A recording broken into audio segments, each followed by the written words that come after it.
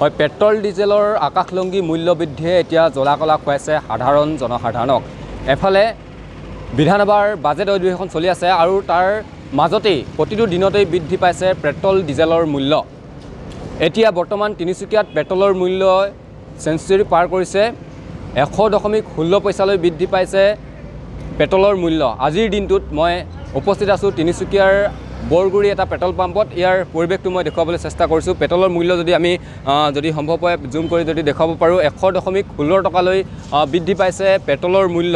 যাৰ বাবে এতিয়া যাৰ বাবে এতিয়া সাধাৰণ জনসাধাৰণৰ মাজত যথেষ্ট আহ, জ্বলা কলাৰ সৃষ্টি হৈছে। কিয়নো অন্যান্য যিসমূহ সামগ্ৰী সেই সামগ্ৰীসমূহৰ যি অত্যাৱশ্যকীয় খাদ্য সামগ্ৰী ৰন্ধন গেছ বা অন্যান্য যিসমূহ সামগ্ৰী আছে সেইসমূহৰ মাজতেই যিহেতু বৰ্তমান বিধানসভাৰ যি বাজেট অধি- অধিৱেশন চলি আছে বাজেট অধিৱেশনৰ মাজতেই এনেধৰণে এনেদৰে প্ৰতিটো দিনতেই পেট্ৰল ডিজেলৰ যি মূল্য বৃদ্ধি এই মূল্য বৃদ্ধিয়ে আহ, আচলতে স্বাভাৱিকতে জনসাধাৰণক জুৰুলা কৰি পেলাইছে আৰু তাৰ বাবে এতিয়া সৰব হৈ পৰিছে তিনিচুকীয়াৰ বিভিন্ন দল সংগঠনৰ নেতৃবৃন্দ। ইয়াৰ পৰিৱেশটো দেখুৱাব দেখুৱাবৰ কাৰণে যত্ন কৰিছোঁ। বিভিন্নজনে তেল ভৰাবলৈ আহিছে মই দাদা আপোনাৰ ওচৰলৈ আহিছোঁ। যিহেতু পেট্ৰলৰ মূল্যই এশ টকা পাৰ কৰিছে আজিৰ দিনটোত কি ক'ব চৰকাৰক? মানে প্ৰতিটো দিনতে বঢ়াই বঢ়াই নি আছে।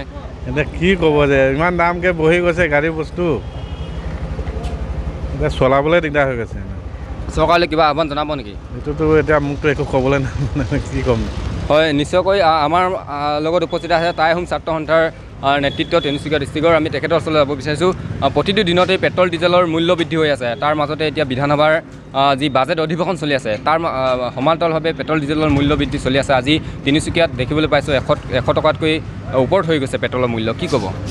নাই প্ৰথম কথা হ'ল আজি কিছুদিন আগত যেতিয়া কৰোণাকালীন সমস্যা হৈছিল সেই কৰোণাকালীন সমস্যাত আমি চৰ- চৰকাৰক আহ্বান জনাইছিলোঁ যে সাধাৰণ জনতাক আপোনালোকে সহায় কৰক মানুহবোৰ চলিবৰ কাৰণে উপায়বিহীন কিবা এটা ব্যৱস্থা কৰক। তেখেতসকলে কিন্তু এই আমাৰ কথাবিলাক নুশুনি। জনসাধাৰণৰ স্বাৰ্থত কাম নকৰি তেখেতসকলে কিন্তু আজি কৰোণা যোৱাৰ পিছতেই উশাহ এটা পাইছে জনসাধাৰণে। কিন্তু তেখেতসকল লাগি গ'ল যে পেট্ৰল ডিজেলৰ মূল্য দাম বঢ়াব লাগে। আজি ৰন্ধন গেছৰ দাম বঢ়াব লাগে। প্ৰতিটো বস্তুৰ ওপৰত তেখেত তেখেতসকলে টেক্স লগাই লগাই লগাই মানুহবিলাকক এটা আৰু দৰিদ্ৰ পৰিয়াললৈ সক্ষম হ'বৰ কাৰণে তেখেতসকলে আগবঢ়াই দিছে। কিন্তু আমি চৰকাৰক আমি বাৰম্বাৰ টাইম ছাত্ৰ দাবী জনাই আহিছিলোঁ।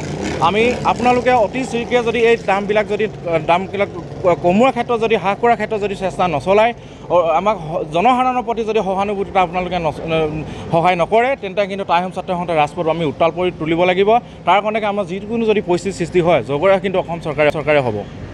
হয় নিশ্চিতকৈ কিয়নো ক'ব লাগিব যে প্ৰতিটো দিনতেই পেট্ৰল ডিজেলৰ মূল্য বৃদ্ধি মূল্য বৃদ্ধিৰ বাবে ৰাইজে যথেষ্ট অসুবিধা পৰিছে। যিহেতু তেখেতে উল্লেখ কৰিছে যে কিছুদিন পূৰ্বে আচলতে কৰোণাকালীন যি পৰিৱেশ সেই পৰিস্থিতিৰ পৰা ৰাইজে কিছু সকাহ পাইছেহে।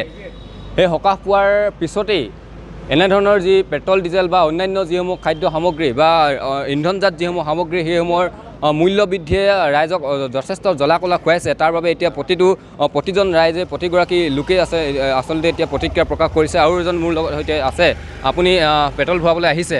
আজি যিহেতু দেখিবলৈ পোৱা গৈছে পেট্ৰলৰ মূল্য এশ টকাতকৈ অধিক হৈ গৈছে। কি ক'ব চৰকাৰক?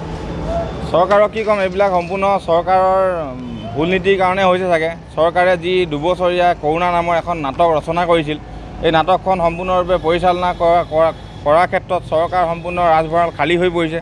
সেইকাৰণে কয় দুবছৰ কৰোণা বুলি সকলোকে বন্ধ ৰাখি এতিয়া দুবছৰ পাছতেই যত যিমান আছে যি কৰ লগাব পাৰি য'ত যিমান কৰ লগাব পাৰি মুঠতে ৰাইজক মাধমাৰ দি কৰ লগাই চৰকাৰৰ ৰাজভঁৰাল টনকিয়াল কৰাৰ উদ্দেশ্যে এইবিলাক কাম কৰি আছে চৰকাৰে। অতি সোনকালে চৰকাৰে আহ্বান জনাইছোঁ যাতে এইবিলাকৰ ওপৰত অকণমান সদিচ্ছা ৰাখে ৰাইজক অলপ সকাহ দিয়ে সাধাৰণ খাতি খোৱা আমাৰ নিচিনা জনতাক জীয়াই থাকিবলৈ উৎসাহ দিয়ে।